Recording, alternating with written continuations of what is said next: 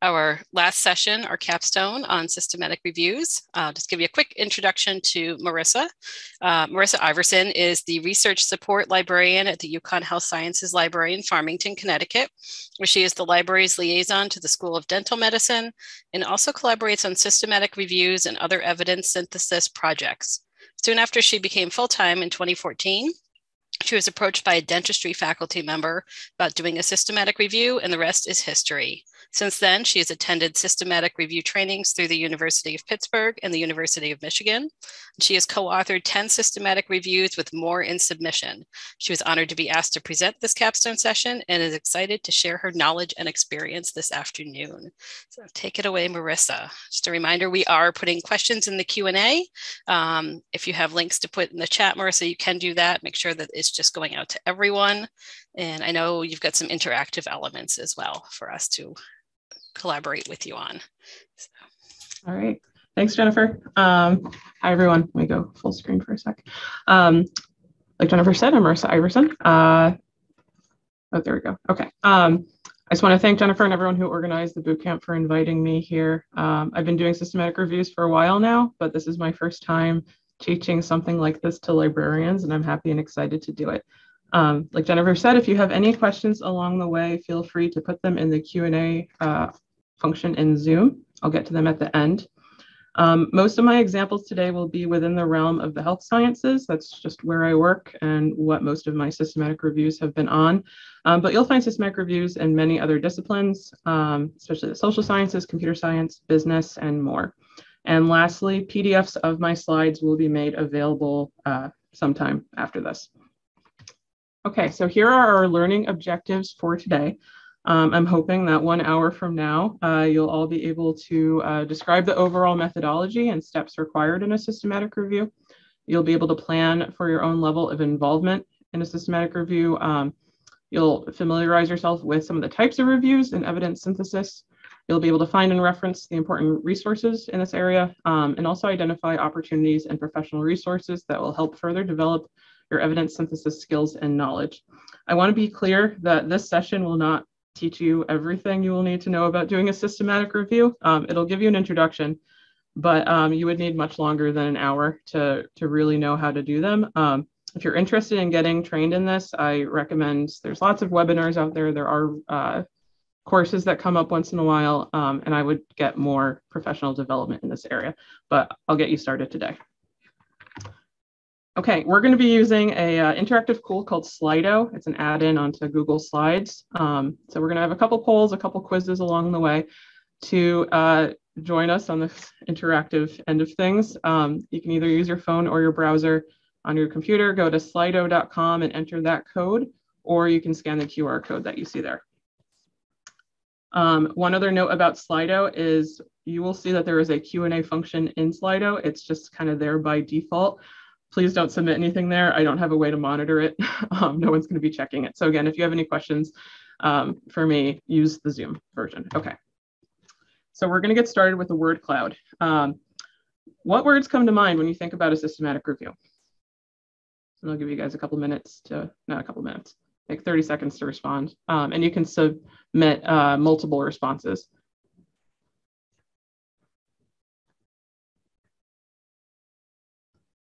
Comprehensive is coming across strong. I like that. Complicated, yes. Hard. Grad school. I wish I learned about this in grad school. Give it a couple more seconds.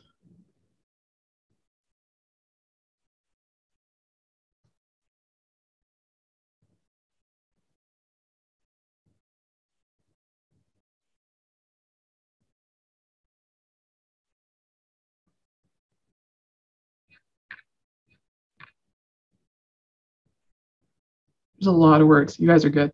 But all right, comprehensive is coming across very as a very popular term. Complicated, rigorous. Cochrane reviews. Yes, we'll go over Cochrane a little bit. Difficult. Oh, I can't keep up with them all. Months of work, lots of work. Team needed. Yes, definitely. Uh, complex. Yep, great. Okay, I'm gonna keep going. Okay. Uh, now a poll. How familiar are you with systematic reviews? Just kind of get a sense of where everyone's at. Never heard of them. That's about it. That's fine. know the basics, worked on several. Okay.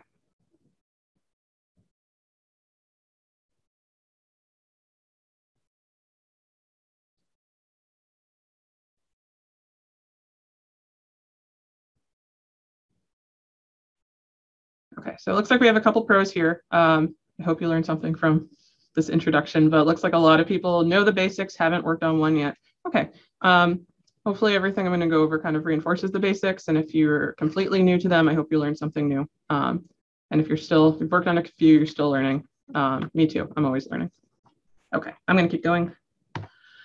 So let's get into it. What is a systematic review? Um, to quote the Cochrane Handbook, um, a systematic review attempts to collate all the empirical evidence that fits pre-specified eligibility criteria in order to answer a specific research question. It uses explicit systematic methods that are selected with a view to minimizing bias, thus providing more reliable findings from which conclusions can be drawn and decisions made. Um, if you're not familiar, the Cochrane Handbook is by definition the handbook for how to do a Cochrane systematic review. If you know, for people who are on a an official Cochrane team, um, doing one of those giant 100 page reviews. Um, but I find the handbook is a really great resource in general. Um, I refer to it all the time when I'm answering questions about systematic reviews. And I've highlighted a couple important parts here in this definition. Um, so let's unpack these a bit. The first one is that you're going to collate all the empirical evidence. Um, this gets at the heart of it. Basically, you're trying to find every piece of evidence that's written on a topic and figuring out what it all means when you put it all together. Um, for librarians, for informationists, that means we're searching multiple databases. We're consulting gray literature, which are I define as uh, content that's outside of journal articles, like conference proceedings, reports, web content, stuff like that. Um, you're finding everything that's written on a topic, and then you send it off to your team of authors, the content experts, to put it all together, figure it out what it means, appraise, analyze the research, and figure out once you put everything together, what's the answer. So uh, like a lot of people said in our word cloud, it is comprehensive. You are finding or attempting to find absolutely everything. It is a very large project and it brings in lots and lots and lots of results. I said citations here, but lots of search results, lots of results from your Graylit sources, lots of stuff. Um, you do that, you find everything, and you're as comprehensive as possible by identifying keywords and controlled vocabulary relevant to uh, finding articles on your topic. Um, you search multiple databases and sources of Graylit um, to find all evidence available. Uh, I think the Cochrane Handbook says at least three databases. I usually search more than three, plus a couple of Graylit sources if I can.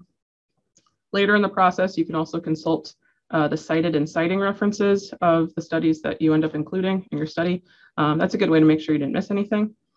Um, sometimes my authors reach out to the authors of the articles they're using to see if there's any additional data that didn't make it into the paper um, you can also do something called hand searching, which you go through manually, preferably uh, an entire journal, you know, every single issue, or an entire conference proceedings. Um, you know, if there's one conference on your topic that happens every year, go through all those abstracts and see if anything's in there. Um, yeah, you're trying to be as comprehensive as possible, find everything. Um, you're going you're using pre-specified eligibility criteria. This means is you make a plan ahead of time and you stick to it. That plan is called a protocol. Um, it, you decide beforehand what's going to be measured, what your question is, how you're going to measure it, and you stick to it, hopefully. Um, it means it's less likely that the authors will be influenced by the results of uh, that come in or by the systematic review process itself. That's reporting, uh, this avoiding reporting bias. Um, and protocols, just in general, are really important. It defines your project, uh, it sets your plan, it sets the scope of what you're going to be doing. And if you choose to publish your protocol, which a lot of people do, there's uh, protocol registries where you can get these online, make them available. You kind of claim your topic, which can be important because systematic reviews can get competitive. You have a specific research question. Systematic reviews work best when your question is clearly defined and specific, not too broad. It's a bit of a balancing act but you're trying to be as specific as possible. If a question is too broad, you're going to get thousands upon thousands upon thousands of results, and it probably won't go much farther than there. I had a team about a year ago that wanted to look at uh, patient reported outcomes uh, out of spinal surgery. Which spinal surgery? All of them. Uh, fusion, yes. Laminectomy, yes. Fracture, yes. What parts of the spine? All of them. I think my first PubMed search strategy brought in about 15,000 results. And I didn't hear from them again. Um, I kept pushing them for them to let's focus on one surgery, let's focus on one specific outcome. And it kind of uh, died in committee. Yeah. So make your question as specific as possible. Um, it'll just turn out better that way. Uh, you're going to use explicit systematic methods. Uh, this is very pertinent to librarians because we're the ones doing the methods um, for these types of projects. You want them to be transparent and reproducible. So as they used to say in math class, show your work. You're going to be providing your search strategies for all the databases that you're using and the gray literature sources so someone else could do them if they needed to.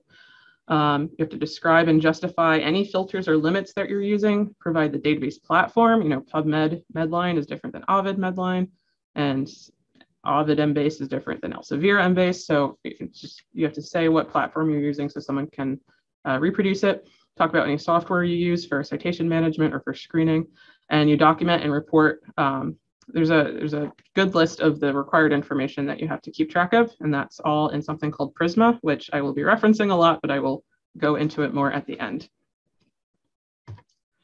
and you're trying to minimize bias as much as possible. I think a couple people put this in the word cloud too. Um, systematic review methodology is systematic, it's comprehensive, and you're trying to pull in as much as possible and not bring any biases or any uh, as few limits or preconceived notions ahead of time as you can. Um, some important biases to consider. Uh, one is reporting bias. So this is when the dissemination of research findings is influenced by the results. So that's why you set the protocol ahead of time. You have your plan, you know what you're doing. You're not going to change the plan along the way as you actually look at the results that are coming in. Uh, you have to consider publication bias. Publication bias is that positive results tend to get published more often uh, than negative or null results. Um, searching the gray literature kind of addresses that. Uh, negative results might be presented in a conference poster or discussed in a dissertation, uh, maybe not in the journal article. So again, casting a very wide net. Uh, you should try to avoid language bias as much as possible. Um, I'd say most of my review teams would really like to only search for articles in the language they speak, which is English. If you can push against that, please do. There's tons and tons and tons of research in non-English languages. Um, and yeah, don't bring that bias in if you can, but it's it's hard. Translation is expensive that's a lot of my teams want to really want to do English only. Um, location bias uh, refers to the location of where the article is indexed and what journal it's in. So you work against the location bias in terms of indexing by searching lots of databases. Um, just because it's not in PubMed doesn't mean it's not worth it. it you can find it in another database. Um, don't just rely on something like PubMed. Um, location database also refers to the journal itself. Um, so considering, you know, high, if search in lots of journals, not just the high impact ones, not just the ones you're familiar with, um, look in as many locations as possible. Uh, availability bias is something to consider as well. Um, that is the bias to find to only look at articles that are easy to find. Um, interlibrary loan exists for a reason. Uh, we can find things all over the world just because your library doesn't subscribe to it or just because it doesn't come up in Google Scholar um, shouldn't mean you you exclude it for that reason. Uh, cost is another bias. Um, it would be a bias to only look at free resources or low cost resources. Hopefully you're working at a library that can either has interlibrary loan available or is able to subscribe to you know journals and packages and all that and get these resources to your to your uh, teams. Um, the famili- uh, familiarity bias would be to only look at journals or databases within your discipline. Um, again, cast a wide net, consider lots of sources, different databases, just because it's a health sciences question, don't just consider PubMed, think about other databases as well. And lastly, nationality. Um, this would be only thinking about using articles from high income countries or specific regions. Um, you can try and be as global as possible. Um, sometimes the question requires looking only at one country. I helped a team a couple years ago that was looking at um, it was outcomes. Um, it, it, it was a maternal health question since the passing of the Affordable Care Act. Well, the United States is the only country with the Affordable Care Act. So in that case, yes, we're only going to limit it to the United States. Um, but unless there's a justification for it, again, cast a very wide net, see what you find. Okay, so now that we've talked about bias, we're gonna play a game. It's called What's Your Bias? I wish I had, you know, game show music behind me, but I don't. So back to Slido. Here's a couple examples of um, some biases you might experience as you're helping your faculty. Um, for the quiz, it will ask you to submit a name. Um, you don't have to put your real name. You can say put anonymous. You can just put a letter, a number, maybe an emoji. I don't know. Um, but that's just Slido makes you put a name. I'll just give it a couple minutes for, not a couple minutes, I keep saying that, a couple seconds for everyone to join.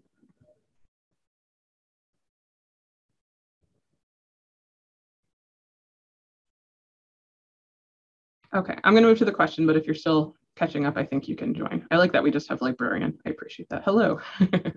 okay. All right, your faculty member says, let's only look at articles written in English. We can afford to hire a translator.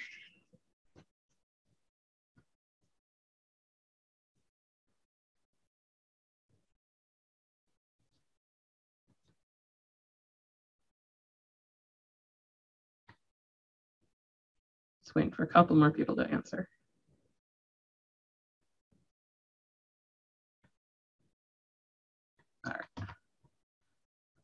98% yes, this is definitely a language bias. Correct. Um, translation, uh, professional translation services are incredibly expensive. Um, some systematic reviews, some evidence syntheses are supported by grants. Maybe there's some grant funding to hire an actual translator. If not, I know here at UConn, we have a very diverse multicultural workforce here. My faculty have colleagues from all over the world. Maybe you know someone who speaks the language in the article that it's um, that you need. Maybe if you buy them a cup of coffee, they can help translate the methods section or the results for you. If not, um, Google Translate works pretty well. Um, there's another translator tool I use a lot called DeepL. Uh, both Google Translate and DeepL, you can, if you have a readable PDF that's in another language, you can uh, upload the PDF. And I think there's a limit on how many you can do in some time frame, but it can translate entire PDFs allegedly. Okay. So my point is there's ways around content in another language. It's not your, your own. Okay. Uh, your faculty says, I only want to include articles from journals with good impact factors.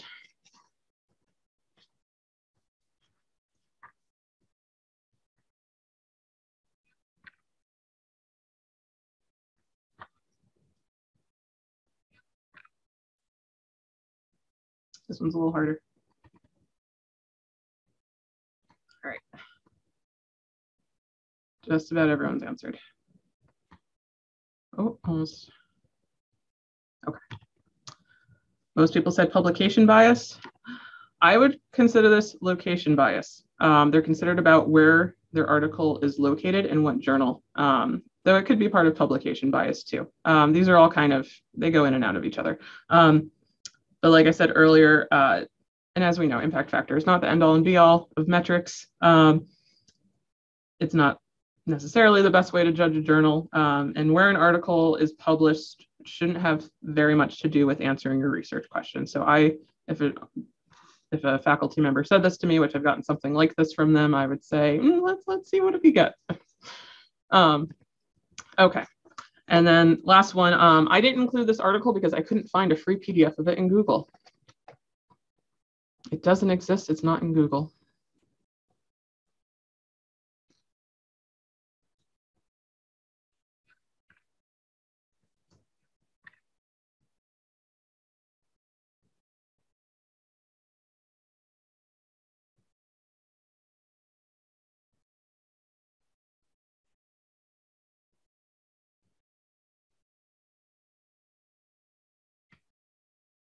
Got just about everybody.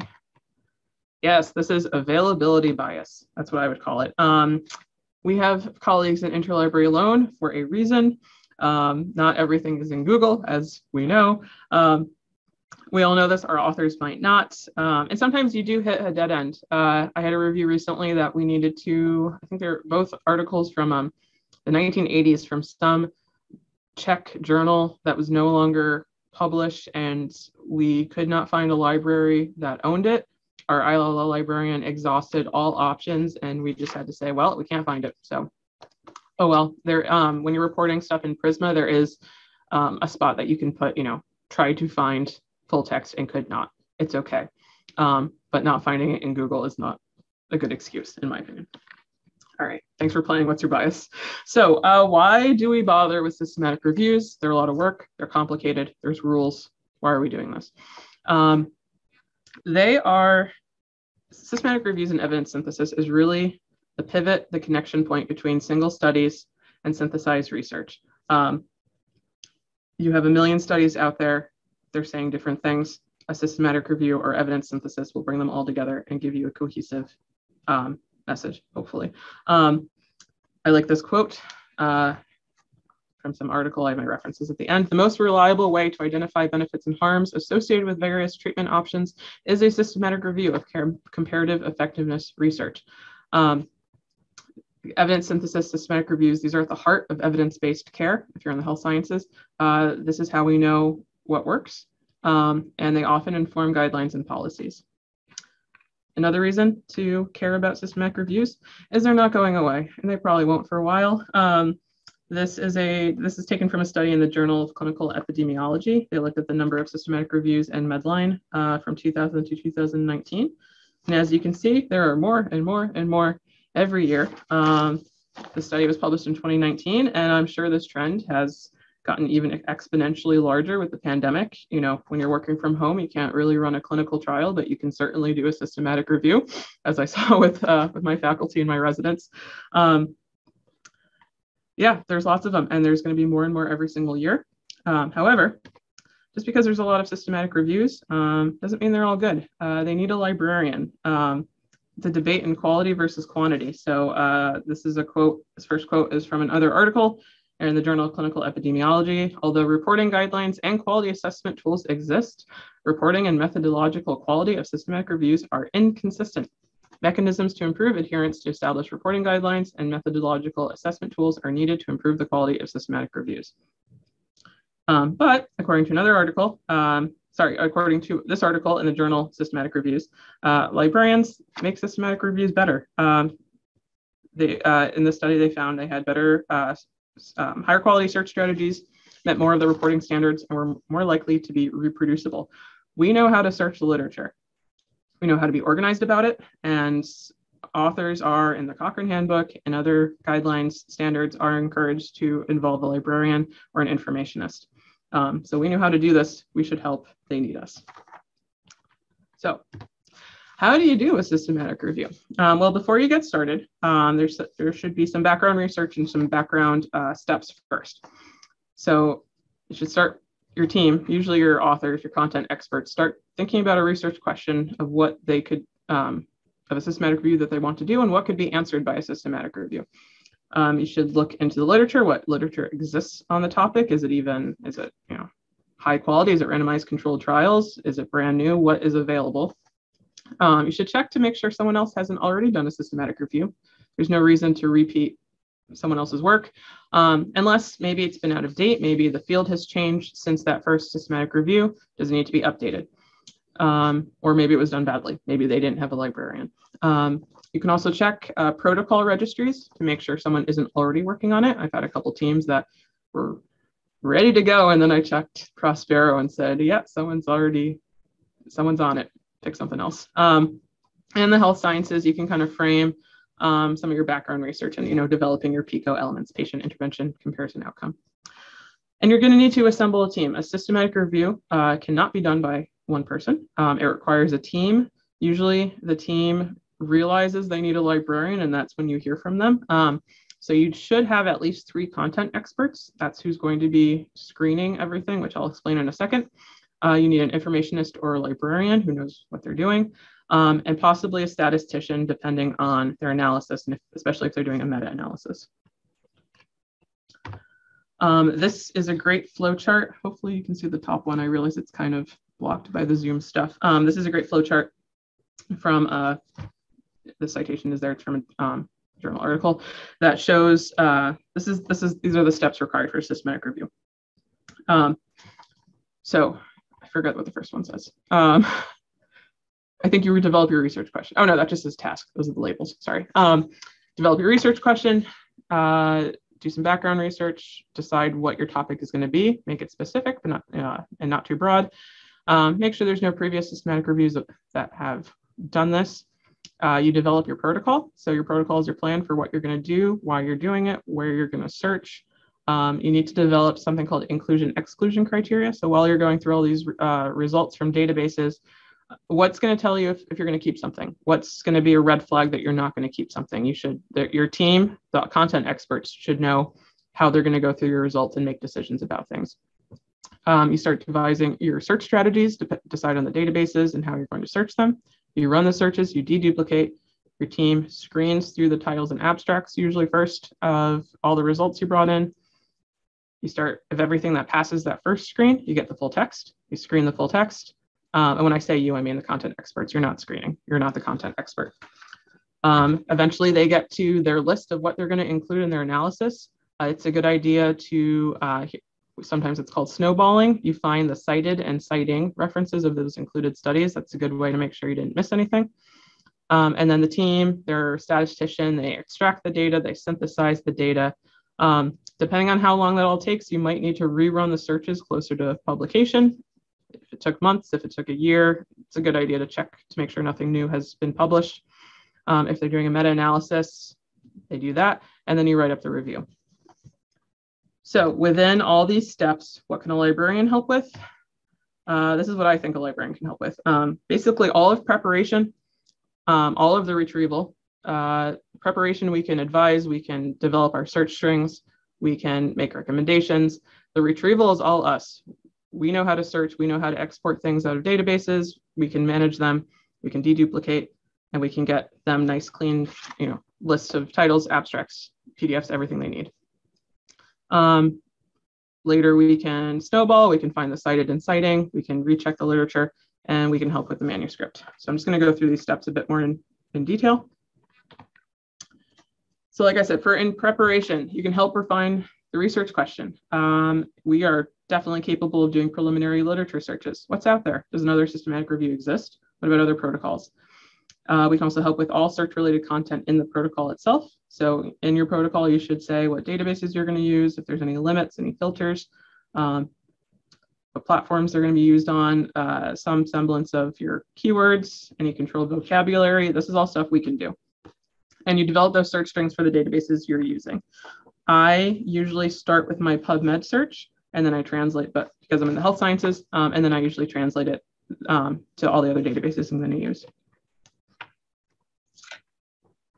Then uh, we get into retrieval. This is the meat. This is what takes forever. Um, you're going to run your searches and you're going to send those results to a citation manager of your choice. Um, you can deduplicate those results. Uh, there will probably be overlap between the databases depending on what you're using. So deduplication is key. Um, and you're going to have to, you should be documenting everything for Prisma. Um, again, I'm going to keep talking about Prisma and I'll show it to you at the end. But, you know, what date did you search things? Um, what platforms did you use for all your databases? What gray literature sources, sources did you use?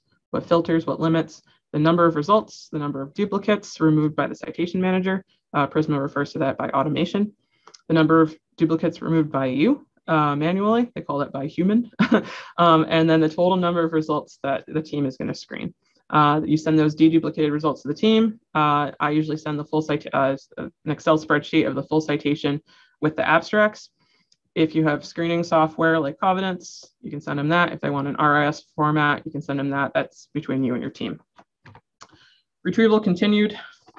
Once they've screened the titles and abstracts, uh, depending on your level of service, you can get them the full text records. Um, I know not every library does that for folks. Um, I have no, I do it, I don't mind. Um, maybe you have a technician or an assistant who can help. Maybe they have a grad assistant. Maybe they can do it themselves and they just let you know if they can't find something. Um, but yeah, whatever works for you for your uh, what your library is used to doing. Later, you can pull the cited citing references of those studies um, being included.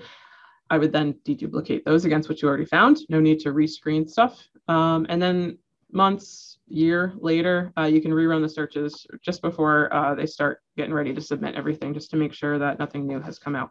And again, deduplicate. And towards the end, for the write-up, um, you were the one who ran the methods. You can definitely prepare all the methods related content for publication. So you can write the methods section. Um, there's something called the Prisma flow diagram that you can put together.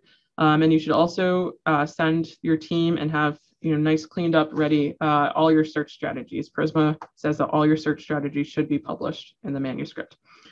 And you can also offer to help proofread the manuscript. It doesn't hurt to have another set of eyes looking at it. Um, this is what the Prisma flow diagram looks like. It's a little blurry. This came from one of my papers and I had to, you know, blow it up for the, for the slide. Um, but your, the Prisma flow diagram, you can get this template from Prisma, and this just is a nice visual uh, representation of the whole searching process. So up here are all my databases. Here's the duplicates that got removed. My team screened these. They excluded these. They looked at 61 full text. One was not retrieved. I don't remember why with this one. Um, they looked through 60 and they ended up with 33. And also uh, this one, we looked at a couple different uh, gray resources and uh, they weren't quite, they were a little different than the databases. So I stuck them over here as well as um, bibliographies and forwards. And they wanted to look at the references of reviews found in database results. I'll get back to why um, for that one in a second. But like I said, the Prisma flow diagram, you have all these numbers, you know how many results you pulled, you know how many duplicates you found, you can put this together. And this is key for getting this, for getting a systematic review published.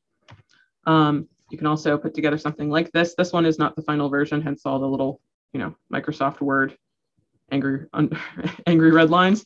Um, but you want to get somewhere, you want to put where all your search strategies um, are in one place. Uh, Prisma wants all of these published.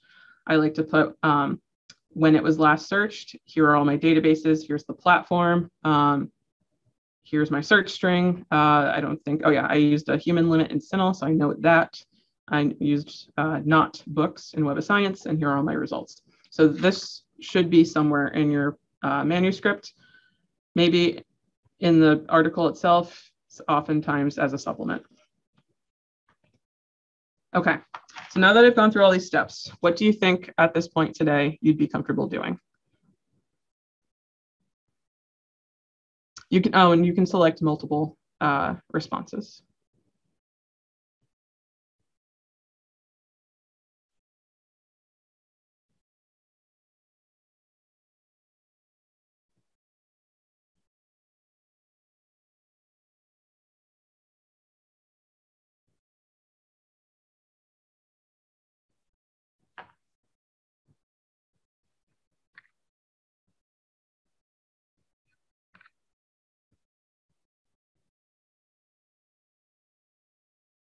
Okay, as more answers come in, this is about what I expected. Yeah, we are we are pros at literature searches. You can definitely help with preliminary literature searches, making a good search strategy, running searches. Yeah, a lot of the preparation stuff is very, you know, librarian consultation esque or lit search assistance related. Um, deduplication, you just got to get to know a citation manager. Um, or there's uh, there's some automation tools out there too, like um, the systematic re review accelerator has a deduplication function too, if you don't have access to a good citation manager. Um, okay. And snowballing, I honestly, I just use Scopus half the time um, or Google Scholar if it's not in Scopus or pulling the PDF and going through the bibliography one by one if it's not indexed fully. Um, yeah, okay, so this will give you an idea of, you know, there's a lot of things that you can already do. Um, you're not at square one. Um, and what you what you didn't answer, those are things that you can look for trainings on, or you know, that's where that's where your professional develop, development opportunities lie. Okay. Uh, one more thing to consider when thinking about librarian involvement in a systematic review is how much you're willing to do and how much you can do. Um, what I do, what a lot, a lot, of libraries do too, and you can definitely uh, take this for your own institution too, is I think about the level of amount, the amount of work I'm about to do in a systematic review. Am I doing it as a consultant or as a co-author? And there's a difference. And I ask my teams this right at the onset, like how much work do you want me to do on this? So as a consultant, I do preparation. I can help with uh, helping with designing the research question. I can definitely search for systematic reviews that already exist. Uh, I can weigh in a little bit on the protocol, you know, recommend some databases, and I am happy to make search strategies for them. and then I hand it off to them. I give them the search strategies. I say, copy and paste this into your databases and let me know if you have any questions. And that's it. Um, I might hear from them for if they haven't used a citation manager before, of course, I can you know train them on how to use one of those. Um, I might hear from them about, you know, I can't find this PDF, it doesn't exist, and I'm like, okay, well, we have interlibrary loan, here you go. Um, but other than that, I, I help them with the preparation and I'm hands off from there. It doesn't take too much time. Um, for this level of, of involvement, if they, if they put me in the acknowledgement section, that's lovely, thank you, but I don't expect too much. On the other hand, co-author is all the boxes I had before. I am a full member of the team. I'm doing everything from preparation, all aspects of retrieval, um, and helping write up the manuscript. If okay, if um, you're doing everything possible to make this review a success, you are a full member of the team. You have they are getting your full level of collaboration. Um, you're helping with preparation, running the searches, everything. You are a full member of the team. And for this level, you should be a co-author and they should, sometimes it takes some negotiating, but um, there are guidelines on there on what merits, what amount of involvement merits co-authorship. And if you're doing all of this, you should be a co-author. Um, yeah, they wouldn't have the systematic review without you. So that's where I stand on it. Um, and like I said, these are the two models that I use. Um, feel free to use them. A lot of people use that too. Or change it, modify it for however works for your institution and for what you're capable of.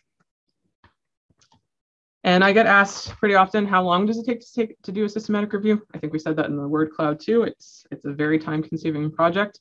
Um, yeah, this table is from a previous uh, version of the Cochrane Handbook. Um, and as you can see, considering everything, considering screening, considering all your uh, analysis, it can take a year or more. Um, depending on the scope of your question, it you could get it done in a couple months. I had one, I've had a couple really niche orthodontics topics that we've gotten done in maybe six months, but they, they didn't have the much to screen because it was such a small amount of, it was such a small topic. Um, and then I had one uh, on uh, risk factors for readmission in pediatric asthma from my first meeting with the first, from the from my first meeting with the lead author until publication, it took three years. So it varies. Okay. Um, another part of the preparation and the background research is matching the question that your research, the research question that your authors want to do with the appropriate type of review. I've been talking about systematic reviews for the past 36 minutes. Um, systematic review is technically, it's just one type of evidence synthesis. Evidence synthesis is the umbrella term for any type of project that pulls together lots of evidence and, and analyzes it, synthesizes it all together. So there are other types of reviews, there's other types of evidence synthesis. Um, if you get a research question doesn't, that doesn't really seem right for a systematic review, there are other options out there, and it's good to familiarize yourself with these um, there's other flavors of reviews so you can uh, make recommendations to your faculty. So I'm just going to go through a couple of the ones that uh, I've seen a lot. So the first one is a meta-analysis. Um, a systematic review, it's, a meta-analysis is usually a systematic review plus more statistical analysis of the included studies data. Um, they usually go together. Uh, I think technically a meta-analysis could be done without a systematic review, but I don't, I've, I've never seen that. Um, not all systematic reviews have the meta-analysis. It's an extra step. It's more analysis. You really need a statistician for this. That's kind of the high end of the evidence spectrum. On the other end, we have uh, a narrative or a literature review. You usually see these, uh, they can be standalone articles. You sometimes you see them, oftentimes you see them as, you know, the first part of an article with all the background research. There is, there's no standardization here. There's no protocol there's no way to, they're not reproducible or transparent at all. They usually have a very wide scope, uh, no set methodology, no protocol. Um, what, how did they find the articles? We don't know. What were their search strategies? Question mark. Um, did they use limits? Did they only look back at articles only going back to 10 years? Maybe, who knows? Um, so as we know, these get published, but uh, their level of evidence, the level of rigor, the, the it's, it's nothing compared to a a meta-analysis. Um, still helpful, still good, still great to learn a topic, but different than a meta-analysis. Other types of reviews, uh, you'll see scoping reviews come up pretty often. These are very popular right now. Um, you usually do the same systematic methodology, but it's for a broader question. Uh, they often look for gaps in the literature or try to categorize or map the nature and, extent of the evidence that's available. Um, they might report on the type of evidence that's out there, what needs to be done, you know, the future of research in this area. Uh, they should kind of report on what's ongoing. So look at, you know, current trials. But yeah, scoping reviews don't necessarily ask a specific question. They just kind of analyze uh, a world of, of evidence and on a topic um, and kind of talk about it from a higher level up. Um, my favorite one, I haven't worked on one yet, and I really want to, is an umbrella review, which is a review of systematic reviews. I love that that exists. Um, there's so many systematic reviews out there that we can review all of them together. Um, these are really helpful for really broad topics that have a lot of existing systematic reviews. Um, they're good for comparing interventions uh, for you know the same condition or something, or comparing various risk factors. Um, yeah, so that's an option. If there's already a lot of systematic reviews, why not do an umbrella review? Um, a rapid review is uh, basically a systematic review on a time crunch. Um, the Prisma flow diagram that I brought up before that we searched all types of things that I wouldn't normally have done. Um, this was for a journal that was expecting, they were doing a special issue on, um, on a topic. I'm not going to give it away because we have a quiz coming up. Um, and it was kind of a time sensitive matter. Um, so they're often used for, uh, for policy um, or for yeah other kind of time crunches. You use the same basic systematic review methodology. You might not use as many resources, or you could pull references from already published reviews and just kind of get those in to make sure it you, you can use other kind of time saving considerations, maybe not search as comprehensively. Um, but yeah, it's just kind of trying to get it done quickly um, because of outside matters. And the last one I want to mention is a systematized review.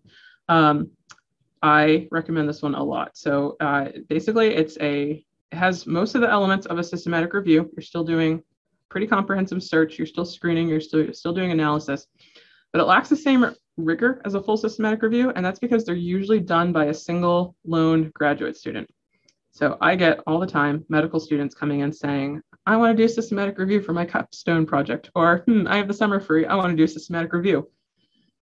A single medical student cannot do a systematic review. I don't know how many times I've told them that. I don't know how many times I've told faculty advisors that, but I can usually get them to agree to a systematized review once I kind of once I kind of explain what a systematic review is, what it isn't, that you need a team, and this is an option. Um, so yeah, the definition is literally it's done by a single graduate student. So this is a great option for those very intrepid students. Um, there are other review types out there. Uh, if you want more information on other reviews, other evidence synthesis, these are the two articles I refer to the most, Grant and Booth's 2009 Typology of Reviews, as well as a newer one uh, by Sutton et al., Meeting the Review Family. One more uh, interactive section. We're going to pick the review type. So I think, I don't think you have to rejoin the quiz if you're already in it, but just telling you to get ready. So prepare yourselves. Okay. Situation number one. A group of faculty members want to write a review on the environmental risk factors for inflammatory bowel disease. You suggest you find that many systematic reviews and meta-analyses already exist. So you suggest that they do a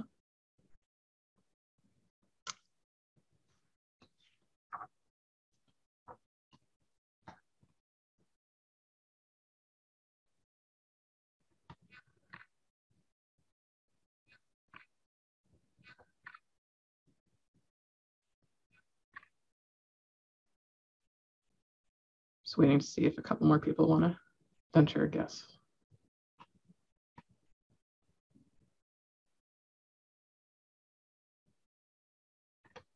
All right, I'm gonna keep going. Umbrella review. yes, I would I would definitely recommend an umbrella review for this. Um, and actually, this was based on an umbrella review I found in PubMed on this exact topic, uh, environmental risk factors for IBS. Okay. To your residents and their faculty mentor want to explore and categorize the genomic evidence available on craniosynostosis. You suggest doing a blank.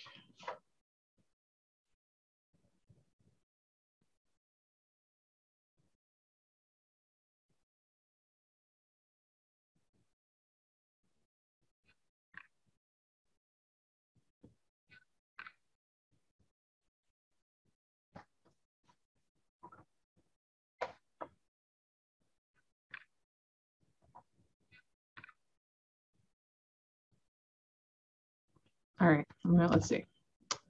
Scoping review, that is exactly what I told them to do. This is one I'm working on right now. Um, and yeah, they started wanting to do a systematic review. And then once they actually explained kind of what they're looking for, I said, that sounds like a scoping review to me. So that's what we're going with.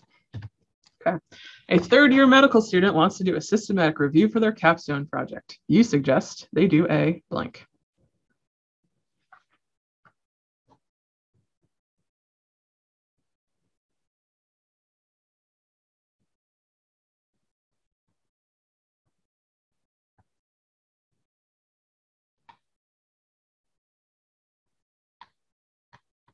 Let's see. Yes, a systematized review. The answer to all my my woes with medical students. Yes. Um, is by himself. He or she is by himself, by themselves. Uh, and you know, a capstone, at least here at UConn, is a multi-year project, but they're students. They have boards, they have exams. There's no systematized every time. Your state is considering legalizing the use of recreational marijuana. A team of your faculty have been asked to weigh in on how this could affect teens. They reached out to you about doing an evidence synthesis, and you suggest that they do a blank.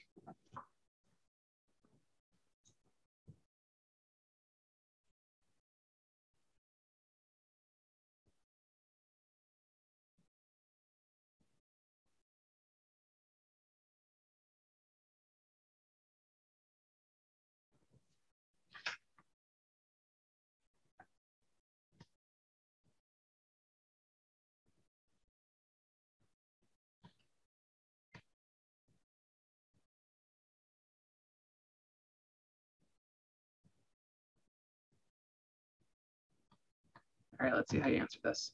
A rapid review. Yes, I, I think really you could you could do a systematic review on this topic and a meta-analysis potentially. Um, but the key here is that I included the state was asking for this. So there are kind of outside stakeholders that don't have years to wait for your faculty to come back with an answer. So in this case, it's time sensitive, it's related to policy, uh, it needs to be done quickly. Probably a rapid review would be good. All right, a couple more. A team of orthodontics fellows and residents are writing review on the amount of root resorption when using traditional braces versus clear aligners. You suggest that they do a blank.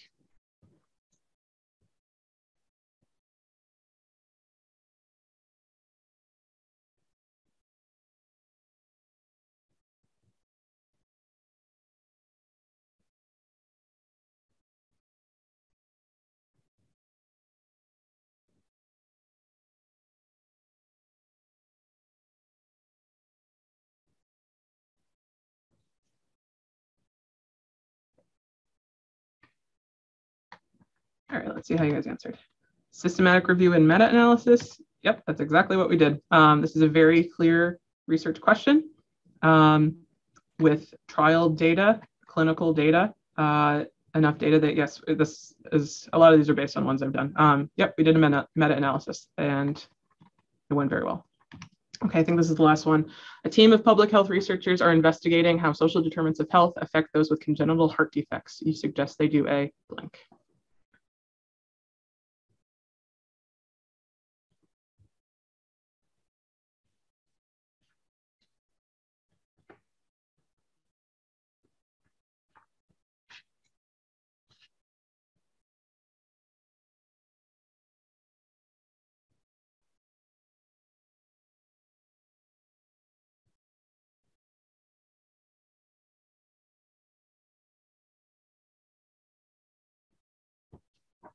Let's see. We could have done a narrative review. We turned this into a systematic review. Um, it was, it was, this one was tricky. This one was a bit more of a broad question. Um, and we ended up focusing on a couple different uh, social determinants. not every single one. Um, but yeah, this one could have gone in a couple different ways. So if you said narrative review, that's okay. Um, but we ended up, this was a systematic review uh, ultimately. Oh, and I forgot. Yes, Lido's going to tell us who won. So um, go Louise. Good job. and and uh, honorary mentions to Carolyn. Hello, Sean and PB. Well done. Okay. Um, we're going to wrap up. I've got about 10 minutes left. Um, so some of the top resources to uh, utilize, to learn more, to refer to um, are the ones I have here. Um, I don't quite have time to go into every single one, but I will show you Prisma when we get there. So the first one, uh, uh, I mentioned already the Cochrane Handbook. Like I said, it's technically the handbook for doing a Cochrane review, um, but it's really helpful for any review. It has recommendations and instructions for just about every step of the way. Uh, the Institute of Medicine Standards, or Finding What Works in Healthcare, is a set of standards uh, for every step of a medicine specific um, systematic review. Um, again, similar to the Cochrane Handbook, um, every step of the of the process is outlined and and is there, and you can reference it. And when you get questions about it, those two sources are there for you.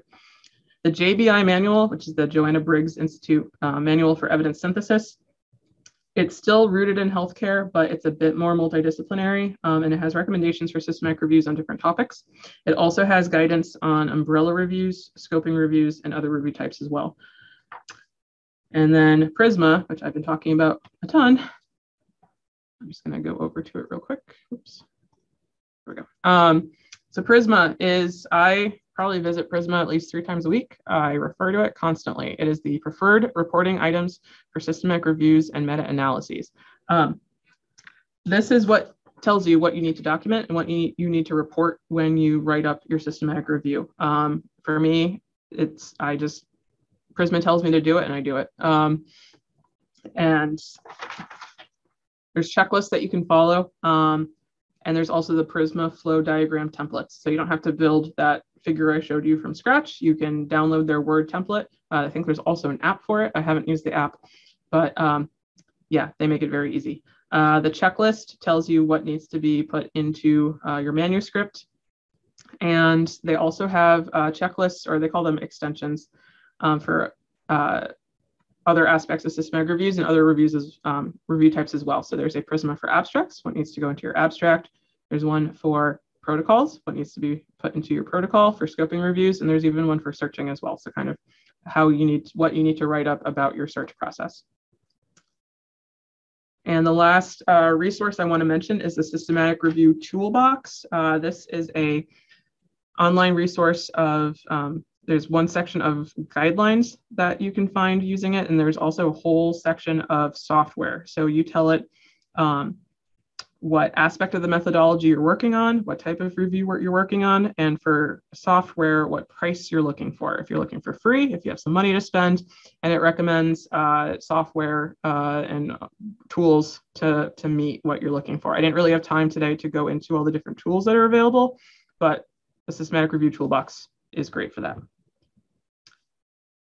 If you want to learn more about doing systematic reviews, if it's part of your job, if it's going to be part of your job, if you want it to be part of your job, um, these are some of the resources I came across and that I can recommend. So uh, first up, there is a Coursera MOOC, um, massive online course.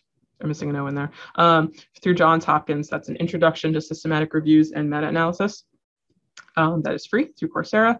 Um, there is uh, through the University of Minnesota. If you are not in the health sciences, there is a Evidence Synthesis Institute. Um, it is free for uh, those who participate. Applications are being accepted through June 13th. There are also various recorded recordings and uh, videos and webinars that you can watch. A really good one I liked recently is from the Therapeutics Initiative at the University of British Columbia uh, systematic review searching and overview of best practices in real world experience. The therapeutic uh, initiative, if you get on their, uh, if you get start getting their email alerts, they have a lot of webinars and a lot of them are really helpful. Um, there's also a webinar series through Cornell, and there's a video series uh, specific to searching through Yale's medical library. Um, those were all the free ones. These are the not free ones. Uh, the University of Michigan Systematic Review Workshop is one I did. Um, if you're interested in using them, go on their website and poke around. I it looks like there is an in-person version and an online version. For the in-person, you apply to be in the lottery, and those selected from the lottery, it costs $100 only. But then you need to get to Ann Arbor and get your accommodations and food and flights and all that. Um, it looks like there is an online component, but I couldn't tell what the process is for getting into that. But you, um, all my slides will be PDFs with links, and you can click on them and go look at this if you're interested. The Medical Library Association also recently uh, released a systematic review services specialization. It is $760 for MLA members and a little over 1000 for non-MLA members. So that's an option. Um, Cochrane also has its own interactive learning videos. Um, I think these are incredibly expensive, but depending on your institutional license and your institutional access, you might have access to these, um, or maybe you have money to spend on them and really helpful professional networks that I recommend if you want to learn more about this and be involved in them. Um, the ACRL Evidence Synthesis Methods Interest Group is wonderful. They have a great listserv. They just started a new mentee mentor program. You can sign up in either role. Um, I think it's brand new. I don't know if anyone's been paired up with it yet, but it doesn't hurt to sign up and see what happens. Um, the Medical Library Association also has a systematic review caucus um, and a user experience caucus. The user experience caucus is doing some really cool stuff with uh, getting into the weeds of searching and reusing all the different databases that we use, you know, really efficiently and effectively. Um, yeah, those are both great groups. And the expert searching listserv, which I'm pretty sure you don't have to be an MLA member to join. I could be wrong there. Um, but yeah, all of these groups, all of their listservs are just wonderful for learning about uh, upcoming webinars, training opportunities. People ask questions, the questions get answered. It's it's really great, and um, they all have the option to sign up as a digest, so you don't get a million emails. You just get one daily email. Um, but yeah, all of these groups I find incredibly helpful. Okay, that's it. Um, here's my contact information. Uh, if you have any questions, like I said, I see some stuff in the Q&A. Um, feel free to reach out. That's my email. That's my phone number. Um, I've also provided the link to my LibGuide on systematic reviews. I'm still working on it, but um, just about everything I talked about there is to, everything I talked about today is in there somewhere. It also has more databases, Graylit sources, and tools that I didn't have the chance to get into. Um, and those are my references. So. Okay, thank you, Marissa. All right, let's take a quick look at the questions. Um, actually, the first one put in was a link to a, well, a citation about an article about low cost sources of translation. Okay. I'm going to just put that in the chat so yeah, that's can great. reference that. Um, there's a comment about location bias. Um, this person says thinking of it as more of where the search is actually performed. Um, there's a link here to saying sometimes it's suggested that your search results depend on your location. Okay. Um, I will put that in the chat as well. I was taking that from uh, when I did the University of Pittsburgh course. Mm-hmm. We have one, I have one set of slides on different biases, and that's how they had defined location, and they didn't have a citation for it. So, mm-hmm. um, all of these, there's multiple definitions of. Let's see. We had a question about the difference between a literature review and a systematic review. I think you covered that. Um, if there's still questions about that, go ahead and put another question in. Um, actually, I really like this next question about have you run across the problem of retracted studies coming up in results? Um, there's a note that Zotero and EndNote now include screening from Retraction Watch, so it's easier to find them. Um, but that's a great question. That is a great question. Um, I have not, let me think. And I don't, so here at UConn, we don't have EndNote. Um, I use RefWorks, and I don't think they have that functionality. But that's a great point. Um, yeah. I know I would hope that if we got to the full text stage at one point, at some point when I went to go find it or when they went to go find it, we'd see a giant, you know, red bar that says this has been retracted. Um, but yeah, that's a real concern. Yeah. Um, question about have you found any surprises with the new PubMed search algorithm that it was out as of May 2020? And there's a link to an article here. It looks like it's in Spanish, but my Google was trying to translate it for me. So I'll put that in the I, chat. I know things have changed with the automatic term mapping. Um, when I do a PubMed search, I put a label on everything. I usually use text word. Um, and I think that makes it do what I want it to do. Um, I did find I have one I have one scoping review that I hear from them like on an annual basis, and then that drops off the face of the earth, and then they get back to me and say like, "Oh, we want to finish it this year," um, and that's been going on so long that my, the amount of results pre new PubMed versus new new PubMed um, changed surprisingly, and I, I don't really know why, but they're screening everything in the new one now, and and I'm okay with that. All right. Um, oh, thank you to the person who noticed that the stuff wasn't popping up in the chat because I was sending it to hosts and panels only. So I will resend those links. Um, I'm going to ask Marissa this next question. How many are you working on at one time on average? And what do you do if someone asks for your help with a review, but you don't have time? I've, um, I'll answer the second question first. I tell them they are on a wait list and I estimate about when I'll get back to them. Um, up until about a month ago, I had a couple other colleagues that were working on these as well. So if I was really swamped, I could ask um, my colleagues if they had time, um, if the authors weren't willing to wait. One of those colleagues has since retired, and the other one is he's, he's my supervisor, and we're all really busy hiring people. Um, so right now, I just say you got to wait. Um, and if they're not okay with that, then I mean, they can do a systematic review without you. I would hope that it, they would do it with me, but um, most of the time they're they're understanding, especially since here in, at UConn uh, there's like a wave of retirements right now, so everyone's kind of aware of it. Um, how many do I work on at one time? I always everything is in one. I can only really manage one in each stage, so um, I'll usually have a couple that are kind of in the preparation mode and I'll hear from them as they like, oh, here's the latest draft of the protocol. What do you think? And I say, okay, now let's talk about databases. So usually there's a couple that are kind of percolating there. Um, I focus on the retrieval end for one, one at a time. Um, that's mostly because I use RefWorks and I like to have one set of things in RefWorks so they're not deduplicating across multiple databases. There was a while that um, our orthodontics program is very research heavy and I'd have multiple orthodontics systematic reviews going at the same time and that was just bad. Um, so I'm I'm running searches and I'm deduplicating for one at a time, and then once I send the clean set of deduplicated results to one team, then I can get to the next one. Um, I'm going to note that we are at time. Um, if you have time for just a couple quick more questions. I have nothing else today. So okay. Um, there was just a quick note that Google Scholar was country specific. Mm. Um, and that also the retraction notices don't always come up in PDFs in the databases. So a couple of yeah. important points. I don't have a good way to, other than yeah. switching to EndNote and getting you kind of pay for yeah. EndNote. Or, uh, last yeah. looks like hopefully the last question. We'll see. Can you include systematic reviews in your systematic review without it being an umbrella review if it's related but not exact to the topic? I mean, technically you could. I think it's not advisable. Um, because if I don't know, because if it asked a different question than what you're researching, then why would it show up? And if it is the same question, then if it's old, I mean, if, it, if it's a recent, well done systematic review, I don't see why you would include it because you should be asking something different. Um, but you can, um, if it's I'd say if it was a scoping review, if it was not a systematic review, not a meta-analysis, it would probably make more sense. Um, and you can certainly cite older systematic reviews too, you know, that yeah. if you took you know, inspiration from something else. Great. Okay. I think that was our last question. Okay. So thank you, Marissa, for your wonderful capstone.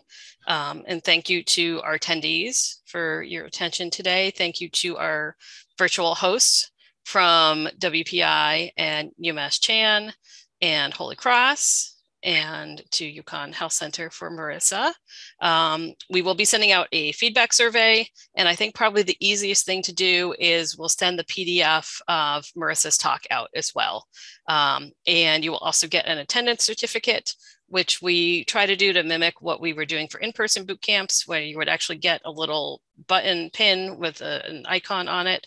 Um, we have virtual buttons for you. Um, I think that's the other, oh, one other thing. Um, if you're not currently part of the bootcamp planning committee, but you think your library, your institution might potentially either want to join the committee um, or potentially host in the future, there's a note on the feedback form. Um, you can get back to us about that. There is a cost to join the planning committee. Um, we've been kind of downgrading that the last couple of years, but I think we're going to be coming back to asking for sponsorship costs as part of being part of the planning committee. But if that's something you think your library is interested in, um, get in touch with us and we can talk about it. Um, I think that's all. So thank you all for your very